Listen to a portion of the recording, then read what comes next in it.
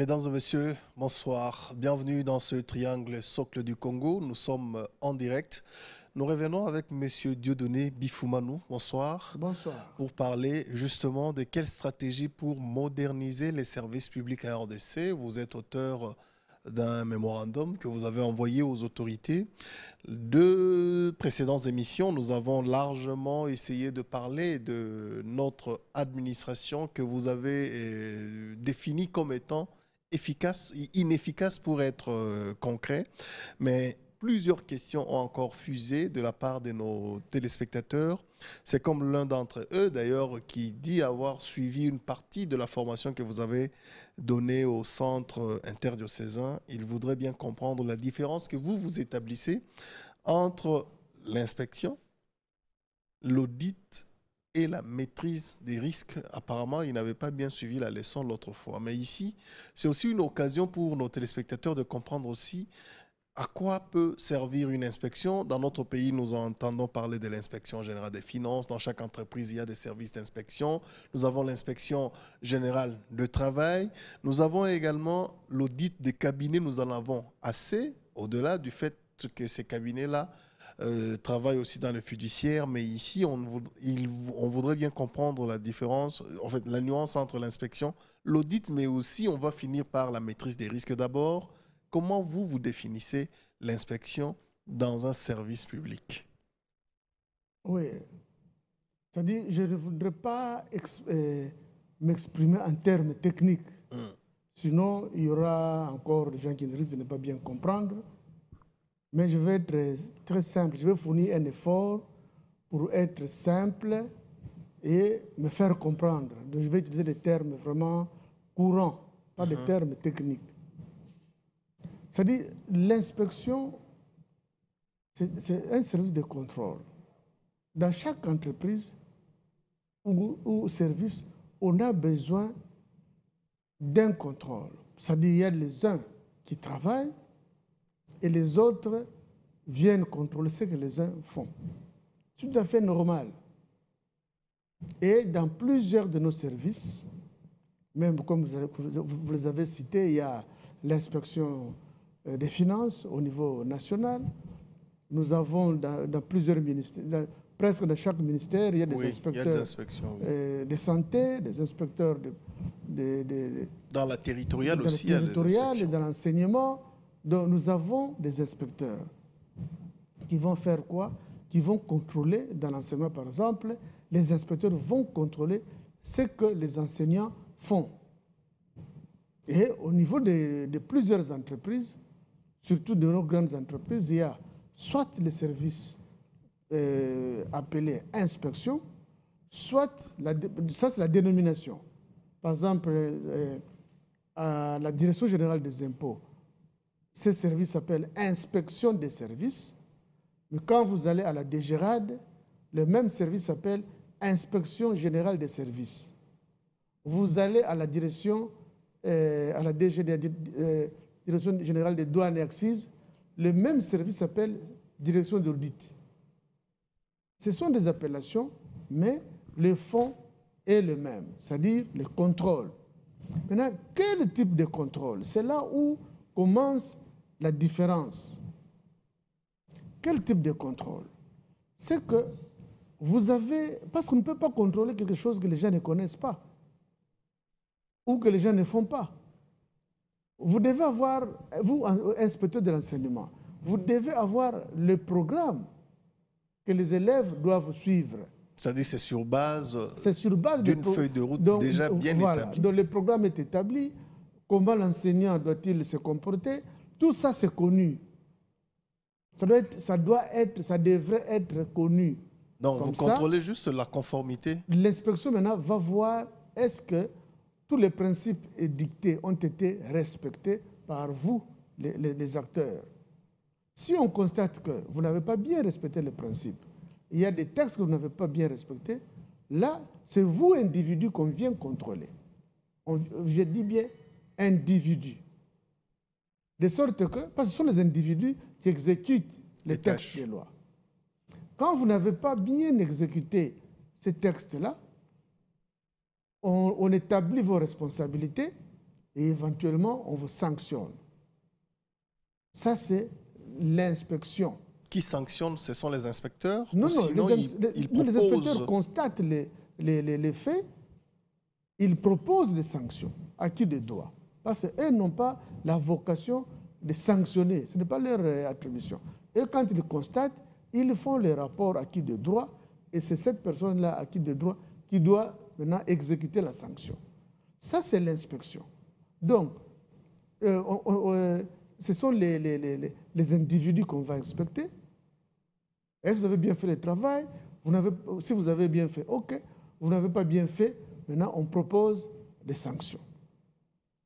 Et l'inspection se fait d'une façon a posteriori. C'est-à-dire vous avez déjà posé vos actes et maintenant vous venez contrôler. Donc vous, la, la- la personne, le pôle des métiers a déjà posé les actes et l'inspection vient contrôler. C'est-à-dire C'est-à-dire, l'in- l'inspection n'a pas la possibilité de réparer les... Ça sont des, des- des- contrôles a posteriori. Maintenant, dans notre contexte, ça mais il y a, euh, malheureusement, dans notre contexte, on confie aussi à la même inspection des contrôles a priori. C'est-à-dire, avant même que l'acte ne soit posé, l'inspection vient voir que- qu'est-ce qui peut être fait et on propose déjà certaines directives que non, pour faire ceci, voilà ce qu'il faut faire. Ça, à- Rappeler les matières, les tâches. ah, ça, c'est à- même pas rappeler, peut-être ve- venir voir, disons, rappeler, oui, on peut accepter ça. C'est-à-dire, ils viennent vous rappeler ce qu'il faut faire. Ça, c'est a, post, a priori. L'acte n'est pas encore posé. Parce qu'il y a l'acte. Avant l'acte, qu'est-ce qui doit se faire? Et dans le contexte actuel de l'inspection, tel que nous le faisons, on vient contrôler avant pour vous dire, ah, chers amis, attention, voilà comment il faut faire, il faut poser les actes. Deuxième type de contrôle, ce que nous appelons, dans, notre- dans le contexte actuel, c'est le contrôle concomitant. C'est-à-dire pendant que l'acte est en train de se poser, vous, vous êtes là. C'est une sorte d'encadrement. C'est une sorte d'encadrement, justement. Donc, vous encadrez le service à bien faire le travail. Et là, tout- dans notre contexte actuel, on le fait. C'est-à-dire, l'inspection vient pour euh, un contrôle a priori, donc avant que l'acte ne soit posé. On, on- on vérifie est-ce que les, les principes sont là, est-ce que tout ça- Et après, pendant que les actes sont en train de se poser, l'inspection est là aussi pour euh, voir, pour encadrer tout ça. Et enfin, quand les actes sont déjà posés, donc un contrôle a priori, maintenant ils viennent encore pour voir si les actes avaient, euh, été bien posés conformément au texte. C'est ça la co- le, le contexte actuel dans lequel nos services de contrôle évoluent. Donc, le même service, parce que quand, vous, quand c'est a priori, c'est que vous, vous- c'est c'est pour prévenir. Mhm. Ça, c'est la prévention. Maintenant, que- pendant que c'est concomitant, c'est un encadrement. Mhm.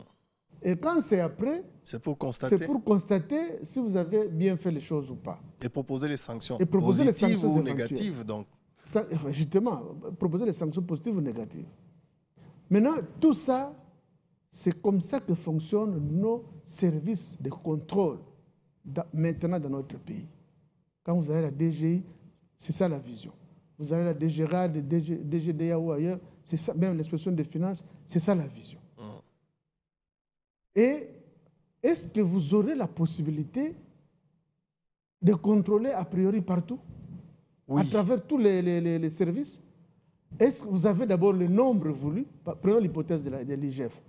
Est-ce que l'IGF peut contrôler a priori tous les services de l'État au même moment? Oui, nous arriverons à ce niveau-là pour comprendre alors euh, l'efficacité ou sinon l'efficacité de, de chaque euh, service. Mais ici, je voudrais que vous puissiez revenir aussi sur Non, non, l'audit. je voudrais d'abord éclairer la question. Sur, vous avez posé la différence entre audit. C'est ce que je suis en train de prendre les exemples pour que vous compreniez Voilà. cette différence-là. D'accord, continuez. c'est pour dire que aucun service de, de contrôle actuel ne peut faire et le, le contrôle a posteriori, c'est-à-dire contrôler tous les actes que les gens ont posés à travers les pays ou, ou à travers votre service, ce n'est pas possible.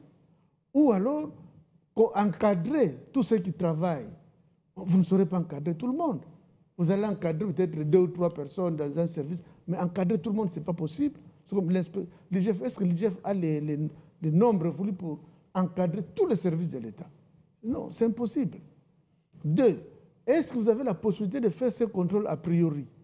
Du point de vue nombre, ce n'est pas possible non plus. C'est ce qui a entraîné l'insuffisance d'efficacité auprès de ces services. Parce que vous ne saurez pas, vous ne pouvez pas encadrer tout le monde. Vous ne pouvez pas faire un contrôle a priori, rappeler les principes à tout le monde. Non, mais sans ignorer que dans chaque service, dans chaque euh, administration, il existe des inspections. Mais, euh, justement, moi je prends les inspections au sein de ces services-là. Voilà, des, inspections internes, au niveau interne. Au niveau interne, par exemple, prenons l'hypothèse des inspecteurs de santé. Hum. Ils ne seront pas... Dans tous les hôpitaux Être partout. Même les petits dispensaires, tout ça, impossible. Donc, ce qui veut dire que ces services de, contrôle deviennent inefficaces sans le savoir. Parce que vous ne savez pas rappeler les principes auprès de tout le monde. Or, l'administration doit fonctionner pour tout le monde. Maintenant, vous, vous n'avez pas la possibilité de rappeler les principes à tout le monde. Et à tout moment. Et à tout moment. Vous n'avez pas la possibilité d'encadrer tout le monde. Et vous n'avez pas non plus la possibilité d'aller contrôler a posteriori les principes auprès de tout le monde vous allez peut-être le contrôler par un jeu, en disant, bon, cette année, je vais contrôler tel, tel, tel service, l'année prochaine, je vais contrôler... Donc, vous ne saurez pas contrôler tous les services au même moment et, régulièrement. Voilà l'audit. Maintenant, ça, entraîne l'inefficacité, c'est-à-dire la prévention est faible, mhm. l'encadrement. la prévention est faible, l'encadrement est faible, même l'inspection aussi sera faible parce que vous ne saurez pas contrôler tout le monde. Pendant que vous, vous mettez du sérieux ici, de l'autre côté, il y a des désordres. Quand vous irez là-bas, ici, il y a, maintenant des, désordres. Donc, vous voyez que euh, vous risquez de ne pas rendre un grand service in fine. Raison pour laquelle l'inspection se limite au, euh, au, contrôle a posteriori. Les actes sont posés et maintenant, suite à ces actes-là, on peut aller voir est-ce qu'ils ont bien contrôlé ou pas. Donc, selon vos propositions, l'inspection ne pourra que constater après les actes. Donc, c'est-à-dire l'inspection agit, la vocation de l'inspection, c'est d'agir après les actes. Vous avez déjà posé les actes et l'inspection vient constater est-ce que vous avez bien agi. Ça, c'est C'est ça la police. Dans ce domaine-là, l'inspection fait de la police. Maintenant, nous avons le contrôle et la maîtrise des risques. Non, la maîtrise. Ah, vous voulez qu'on parle de la maîtrise des risques? Oui, parce que la, maîtrise des risques, c'est là où il y a le contrôle interne. Ok, on y va. Donc, ça dit dans la maîtrise des risques, c'est la maîtrise des risques, c'est la finalité du contrôle interne. En d'autres termes, quel est le moyen pour atteindre la maîtrise des risques? On vous dira que le moyen pour atteindre la maîtrise des risques, c'est le contrôle interne. Le contrôle interne, celui-là donne la possibilité à tout le monde, du sommet jusqu'à la base, d'être acteur et d'être suivi à tout moment. D'être inspecteur d'une manière ou d'une autre Non, pas être inspecteur. Parce que vous, maintenant, vous travaillez. Ok. C'est-à-dire, c'est le huissier, le huissier lui-même, dans la maîtrise des risques, dans le contrôle interne, il doit savoir ce qu'il doit faire et comment il doit faire ça. C'est-à-dire, il est en même temps prévenu de ce qu'il doit faire, en même temps encadré de ce qu'il doit faire. Ça, c'est au niveau, nous sommes encore au bas de l'échelle. Et quand vous montez au niveau des agents, les euh, agents attachés des, bureaux, ou attachés d'exécution, ou chefs de bureau, à chaque niveau, on donne aussi la précision à chacun. Vous, vous devez faire quoi? Vous, vous devez, euh, comment vous devez faire ça? Toutes ces précisions vous les avez à travers ce qu'on appelle le contrôle interne, qui est le moyen pour atteindre la maîtrise des risques. Parce que quand vous avez toutes ces précisions, qui doit faire quoi? On, lui apprend, avant même qu'il ne commence, on lui explique ce qu'il doit faire. le grand ingrédient dans, dans le contrôle interne, c'est la, la, la, répartition des tâches, la précision des tâches? La précision et la prévention par rapport aux risques. Parce qu'on vous donne, on ne travaille pas en, l'air comme ça. On travaille selon des objectifs. Vous, votre service veut atteindre quoi? Ah non, nous, la régie des eaux, nous voulons quadriller tous les quartiers pour que chaque maison ait, ait de l'eau. Mais ça, c'est un objectif que vous assignez. Maintenant, pour, atteindre cet objectif, quel- qui doit travailler? Ah, Il y a tel chef de service, tel ceci, tel cela. Qu'est-ce qu'il doit faire? Il doit faire ça et ça. Maintenant, quels sont les, risques qui peuvent l'empêcher d'atteindre les objectifs? Chacun à son, niveau, et puis d'une façon euh, globale au niveau du service. Toutes ces analyses-là se font dans, ce- dans cette assiette du contrôle interne comme moyen et comme finalité, maîtrise des risques. Tout ça se fait là-bas. De la prévention, parce qu'on peut euh, déceler un risque, identifier un risque qui peut avoir des conséquences dans, une année, dans six mois ou dans, deux mois. Maintenant, vous vous prévenez. Comment nous allons régler ces risques-là ou cet événement-là pour, atteigne- pour que ça ne nous empêche pas d'atteindre des résultats? Ça, c'est la réflexion qui s'est faite dans cette marmite-là de maîtrise des risques. Quand vous avez maîtrisé tous ces aspects, donc vous êtes prévenu et vous évitez beaucoup d'erreurs. Et vous êtes conscient qu'avec cette euh, façon d'organiser les services, nous pourrons atteindre, il y a une grande euh, probabilité d'atteindre les résultats. Ça, nous sommes dans la tranche maîtrise des risques. La description des tâches. Et La, que la description, euh, les, les- les procédures, les risques, et apparemment tout chaque ça, agent. dans- Et, et puis là-bas, il y a aussi le fait qu'on conçoit un référentiel de contrôle interne. C'est-à-dire, quand vous, vous travaillez, vous posez un tel acte, on vous dit comment vous devez vous-même vous contrôler pour minimiser les, les, les- les- les échecs. Donc chaque acteur peut s'évaluer facilement Il doit- et faire rapport Il doit automatiquement sans Il- passer par des procédures mécaniques. Non, il doit s'évaluer lui-même d'abord. Et comment il doit s'évaluer pour voir si j'ai bien posé mon acte? On lui dit déjà dans les référentiels de contrôle interne que quand vous avez terminé à faire tel travail, vérifiez de cette façon si ce travail est bien fait. Parce que vous, quand vous avez fait, vous avez une hiérarchie ou peut-être euh, votre donnée doit aller chez un collègue. Donc là, c'est le contrôle inter, euh, horizontal. Le collègue qui n'est pas votre chef, lui aussi, à son niveau, doit comprendre est-ce que mon collègue a bien fait? S'il n'a pas bien fait, mais vous le, rend- vous, vous- vous le dites, vous le rappelez, monsieur, vous n'avez pas bien fait votre travail. Et en ce moment-là, on peut parler d'un organigramme dans un service aussi dynamique et tout très ça, fluide dans la façon de poser des actes et de répondre aux besoins de l'entreprise. Donc tout ça, c'est dans la, dans, dans la maîtrise des risques. Donc l'information, même les reporting, c'est-à-dire la circulation de l'information. Le DG décide aujourd'hui, mais dans les deux, trois jours, celui qui est au fin fond du pays doit être informé de la décision du DG. Maintenant, avec les, les- les- réseaux, à La, la minute, digitalisation même. Ouais, à la minute, tu dois être informé. Mais les DG ne doivent pas supposer que ah, bon, j'ai pris telle décision. Est-ce que c'est lui qui est au fin fond, euh, à Sakania, est-ce qu'il a compris? Les DG ne doivent pas se poser toutes ces questions. Donc, il doit être. euh, euh, il sait que ça, il doit être informé. Maintenant, qui doit faire ce travail pour l'informer, pour s'assurer que l'agent de Sakana est informé? Il faut qu'il y ait un système qui doit s'occuper de ça. Alors maintenant, quand vous avez prévu tous ces systèmes, donc le fonctionnement du service devient plus souple. Parce que chacun sait ce qu'il doit faire. De, la, manière la plus simple, sans contrainte, vous savez ce que vous devez faire, comment vous devez faire ça, et quel type de contrôle en- entre vous. C'est ce qu'on appelle le contrôle interne, interne au service, c'est-à-dire chacun se, contrôle, les collègues peuvent vous contrôler, la hiérarchie peut contrôler. Donc, c'est ça le contrôle interne. Et ce n'est même pas un contrôle intentionnel, mais un contrôle basé sur des textes et des tâches aussi bien précises. Mais bien sûr. Donc, ça, ça- ça- ça- c'est dans le fonctionnement même du service. C'est le, c'est le sang pratiquement d'un service, ce contrôle interne. Est-ce que vous pensez que la maîtrise des risques peut éviter à notre administration la lenteur dont on l'a toujours accusée En fait, c'est pas Mais seulement notre administration.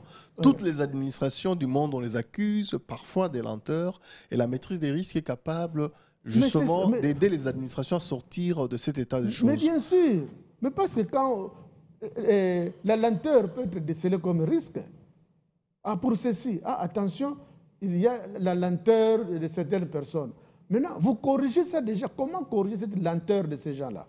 Vous concevez un mécanisme que non, dès que les, les, dossiers arrivent là-bas, en tout cas, on lui impose un délai. Un jour ou trois jours. Le délai est connu que dès que vous recevez tel dossier, vous devez le traiter dans les trois jours et l'envoyer à un autre service en deux, trois jours. Et en ce moment-là, il faut parler des agents qui sont aussi compétents. Est-ce que notre administration peut aujourd'hui se bomber le torse d'avoir des agents aussi compétents dans leur rôle et surtout dans les missions qui leur sont assignées conformément au texte? Mais qui est né avec la compétence? Personne n'est né avec la compétence. Tout le monde évolue pour acquérir cette compétence-là. Même quand vous, non, on ne vient pas, on ne vient pas apprendre non, ça au travail, c'est ça non, aussi. Justement. Et à un certain niveau non, les des responsabilités. Internes, les contrôles internes vous précisent tout ça. Qu'à tel poste, nous avons besoin de telle technicité, de telles compétences. Maintenant, nous savons que nul n'est né avec ces compétences-là. Maintenant, on donne seulement les prérequis. On dit, pour apprendre, on apprend toujours.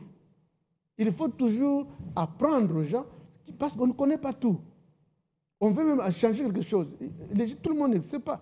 Il y a les formations, il y a des recyclages. Donc, quand vous, quand vous, vous savez qu'à tel poste, on a besoin de telle technicité, vous recherchez par exemple la vérification, mais on peut dire, bon, euh, nous avons besoin de, de comptables, de ceux qui connaissent la comptabilité. Comme ça, à partir de, euh, on va leur apprendre comment procéder à une vérification fiscale. Voilà. Ils ne sont pas nés avec ça, ils n'ont pas peut-être appris ça à l'université, mais ils viennent, ils doivent apprendre. Donc, de sorte que la formation, le recyclage deviennent des éléments indispensables dans le fonctionnement d'un service. Et le recyclage, la formation, la mise à niveau, c'est aussi un élément dans la maîtrise des risques. Bien sûr. Parce que quand on traite les risques, on a besoin de, de très bons chauffeurs qui peuvent conduire facilement les bus. Mais vous allez faire quoi? Vous recrutez des chauffeurs et vous, faites tester. C'est déjà une façon de gérer les risques. Au lieu de prendre, ah, on a besoin de, chauffeurs ici. Et puis, ce sont des taximens euh, qui viennent là, qui, n'ont jamais conduit même une, une Jeep, une pick-up, et puis qu'ils se disent chauffeurs. Vous savez conduire Oui. Et puis, vous l'engagez. Non. Maintenant, vous allez vous dire, comme nous avons besoin de, chauffeurs qui, conduisent, qui peuvent conduire des bus, nous allons organiser un test. Donc le test, c'est déjà une réponse à ces risques-là d'avoir des, mauvais chauffeurs.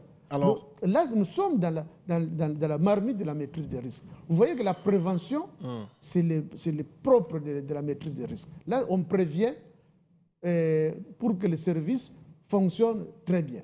Il peut y avoir des, des, petits manquements, ce qui est inhérent à la vie de, à la vie de, l'homme, c'est-à-dire des petites imperfections.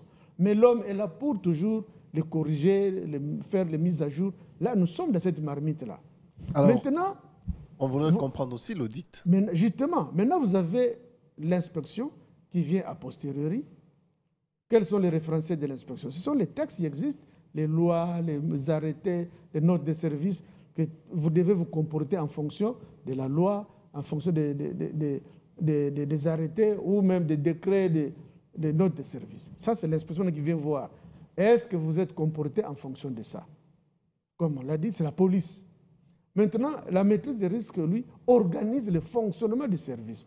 Comment tel service doit-il fonctionner pour qu'il atteigne son objectif? Ça, c'est qui organise ça? On organise ça dans le cadre de la maîtrise des risques. Les compétences, les tâches, tout, tout, tout ça, on précise là-bas. De sorte que euh, si ça ne fonctionne pas, ils peuvent corriger déjà en interne. Maintenant, l'audit interne. L'audit interne, la vieille conception de l'audit, quand on parlait de l'audit financier, c'était tout contrôle. Ah, dans telle société, il y a des auditeurs qui sont venus de Kinshasa pour aller auditer les agents de, de, de, de, Et les gens commençaient à paniquer parce qu'on vient vous contrôler. On vient faire l'inspection. Est-ce que vous avez bien respecté les textes? Mais l'audit actuel, quand on parle de l'audit interne, on n'est pas au niveau des individus. On va voir, est-ce que les services tels fonctionnent-ils bien? Parce que vous, dans la maîtrise des risques, les contrôles internes que vous avez mis en place, vous avez estimé que telle, telle euh, personne doit avoir tel, euh, euh, doit poser tel acte, et puis à partir de là, voilà comment ça, peut se faire. Vous avez un référentiel de contrôle que vous avez mis en place et les, fonctions, les, les, services tournent, fonctionnent normalement. Non, mais nous, nous connaissons aussi que l'audit, c'est toujours lié à de l'argent, là où on gère les fonds. Non, mais justement, l'audit maintenant, actuellement, selon les normes internationales, disons, selon les, quand on parle de l'audit interne, l'audit interne vient voir est-ce que les mécanismes que vous avez mis en place pour le fonctionnement de, euh, efficient de tels services, efficace et efficient de tels services, est-ce que ce mécanisme est-il bon ou mauvais? On ne vient pas voir les individus qui a bien travaillé, qui n'a pas bien travaillé. Non. L'audit interne sur les normes actuelles, on vient voir le fonctionnement des mécanismes. Est-ce qu'on a prévu tous les, référentiels de contrôle interne? Est-ce qu'on a vraiment prévu les attributions de telles personnes? Donc, on se pose toutes les questions par rapport au fonctionnement du service, à la qualité du contrôle interne. On vient évaluer la qualité du contrôle interne. On ne vient pas pour, sanctionner. Que par vocation, l'audit ne sanctionne pas. On vient seulement voir. Et quand il y a des failles, on cherche à corriger. Donc, on fournit un effort pour corriger. Et la correction, ce n'est pas vous avez euh, identifié des failles et puis vous allez dans votre bureau en train de telle faille. Qu'est-ce que je peux proposer comme euh, remède? Non. Dans l'audit interne, quand vous constatez une faille quelque part, vous devez chercher les solutions avec les agents. Ceux qui travaillent, vous devez les associer dans la recherche de solutions. C'est-à-dire, il n'est pas dit que c'est eux qui doivent vous imposer la solution, mais vous devez les associer. Vous devez leur poser des questions ensemble. Et si j'ai proposé ceci, que pensez-vous? Vous réfléchissez ensemble, vous échangez. De sorte que quand vous avez terminé, vous, êtes convenu que ah, la, bonne, euh, le bon remède, c'est celui-ci. Là, maintenant, vous faites votre rapport, vos recommandations. Et ces recommandations, parce que elles seront exécutées par ceux que vous venez d'auditer. Donc, s'ils n'ont rien compris des recommandations, euh, comment vont-ils corriger? Mais s'ils ont participé, à la, proposition des recommandations, au moins ils savent déjà ce que nous avions proposé, c'est quoi et comment nous devons exécuter. Donc, il arrivera maintenant euh, le moment où les solutions proposées, comme les, les, pôles métiers, c'est-à-dire les agents, étaient associés dans la réflexion, ils vont facilement comprendre et facilement les mettre aussi en exécution. Et cela va entraîner maintenant une valeur ajoutée, c'est-à-dire on améliore davantage le fonctionnement du service. Alors maintenant, voilà la, la différence entre les trois, les, trois concepts, maîtrise des risques, inspection et audit interne. Donc ils sont complémentaires, tous ces, tous ces principes. Évidemment, il y a des pays où il n'y a plus d'inspection des services dans, dans leur euh, organisation. Parce, qu'ils sont aussi efficaces dans leur façon. Mais bien sûr, parce qu'ils ont dépassé un certain niveau de, de compréhension. C'est-à-dire, nous, nous sommes encore en, en train de balbutier sur, sur, plusieurs domaines, mais eux ont atteint un certain niveau de compréhension, de prise de conscience, d'éviter les, les, les antivaleurs. Ils ont atteint un certain niveau, de sorte que ceux qui posent des, ceux qui ne respectent, et puis le contrôle interne est tellement efficace que quand vous avez posé un mauvais acte, il est directement détecté dans la chaîne du contrôle interne. Donc on n'a pas besoin d'avoir une inspection pour venir faire le travail, mais facilement on peut découvrir les failles.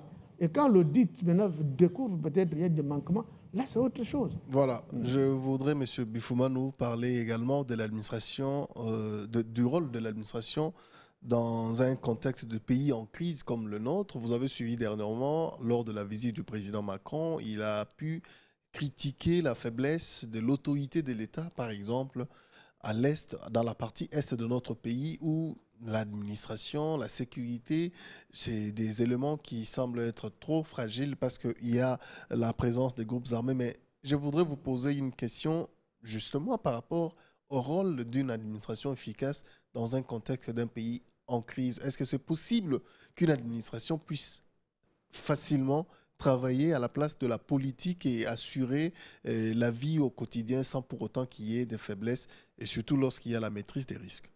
Mais justement, s'il y avait une bonne administration, une forte administration, on éviterait beaucoup de choses. En commençant par les recensements, par exemple. Les Oui, ça, pouvaient se faire. Le recensement, c'est une notion lointaine. hein. Vous savez, nous autres, peut-être nous grandissons, mais jamais avoir été recensés. Est-ce que vous avez déjà entendu dans les pays organisés, en France ou ailleurs, aux États-Unis, qu'il y a une campagne de recensement de la population? C'est une notion qui ne Mais vous non, semble pas être. euh, Euh, non, non pas que c'est une notion qui n'existe pas, mais parce que l'or- les, les- les services administratifs sont tellement organisés qu'ils n'ont pas besoin de faire un recensement systématique de la population. Le recensement se fait au jour le jour. Quelqu'un vient d'ailleurs, il entre dans le quartier, le chef du quartier doit savoir qui est entré. Parce que déjà, a- déjà aux frontières, nous avons les services d'immigration. Pardon? Aux frontières, nous avons déjà les services d'immigration. Non, ça c'est autre chose. OK. À Kinshasa, par exemple, ou ou prenons le cas même de la commune de Ngaliema, ici où nous sommes. On- dans les chefs de, de, rue, chaque chef de rue ou chef de quartier doit savoir, dans mon quartier, il y a eu autant de, de- personnes nouvelles qui sont arrivées. Est-ce qu'ils sont euh, ces, personnes-là juste euh, de passage? Mais quand ces personnes viennent s'installer, le chef de quartier doit savoir. Quand il y a des naissances, le chef de quartier doit savoir. Donc c'est ça, le- c'est l'organisation. Et il compte déjà que chez moi, il y a eu une nouvelle euh, unité qui est, qui est née. Il y, a, il y a un cas de décès. Le chef de Vous quartier... savez, sait pour vous, lorsque nous réclamons le recensement de la population aujourd'hui, c'est. On est peut-être en retard pour comprendre l'évolution.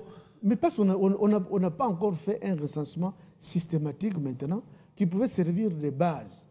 Et si nous avions une administration efficace, on n'aurait même pas besoin d'une d'un- d'une campagne de recensement parce que toutes les données seraient déjà là. On compléterait peut-être par quel- quelque chose, mais les, données seraient déjà là. Aujourd'hui, on peut organiser une campagne de recensement. On l'organise systématiquement. Mais si euh, deux ans après, la même administration n'est plus organisée, mais vous allez perdre toutes les données et puis cinq ans après, faire encore d'autres euh, d'autres campagnes de recensement. Non. Quand on les fait, soyez organisés et puis allez de l'avant. Mais il faut bien euh, faire les choses. Et l'administration doit bien jouer son rôle en temps de crise, comme chez nous. Mais, mais- mais bien sûr, mais pourquoi nous existons? Pourquoi l'administration existe-t-elle? Et C'est parce qu'il doit jouer son rôle à tout moment.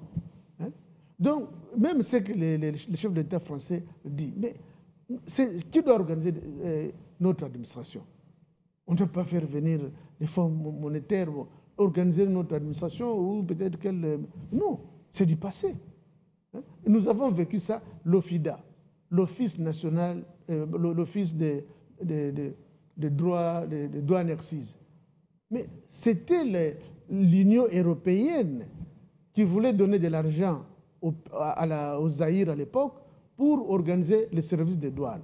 Mais comme ils n'avaient pas confiance euh, aux, aux acteurs de l'époque, ils avaient exigé que quelqu'un d'eux, un blanc, vienne organiser la- le- le- le- les douanes en question.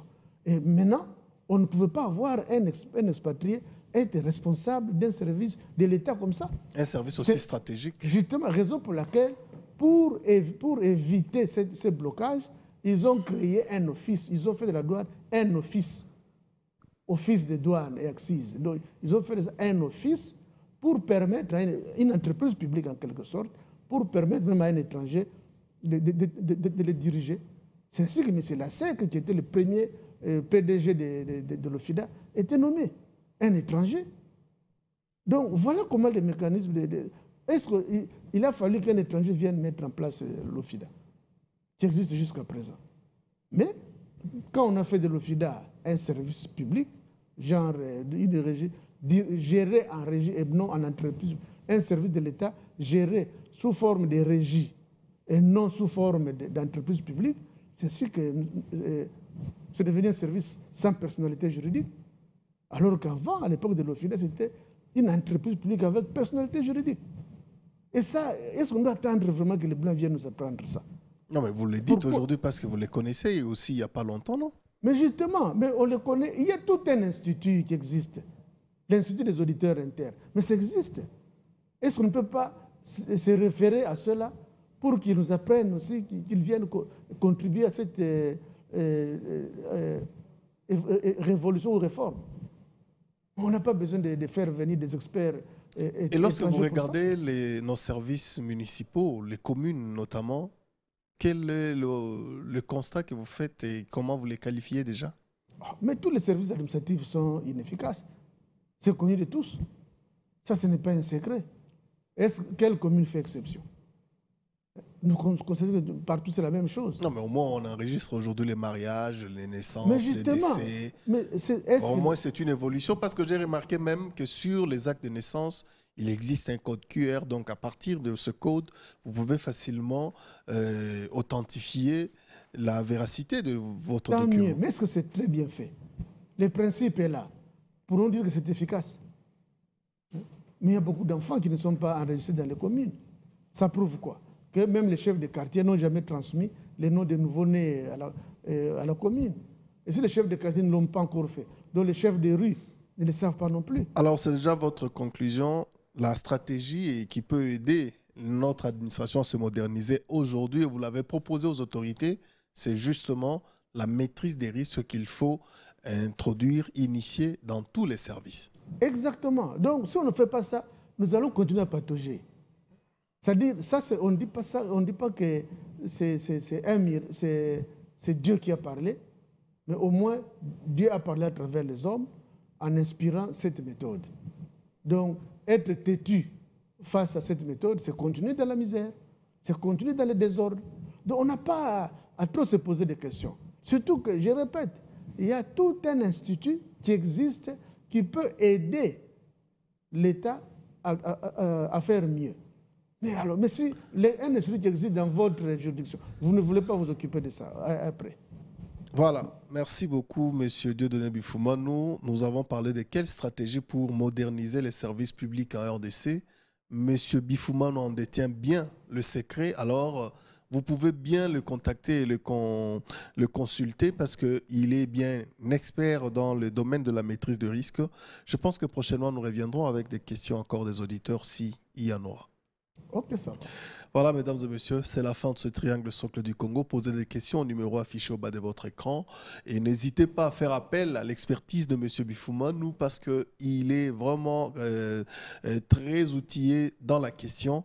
Alors, nous, on se retrouve prochainement sur la même chaîne avec le même plaisir. Merci à tous. Au revoir.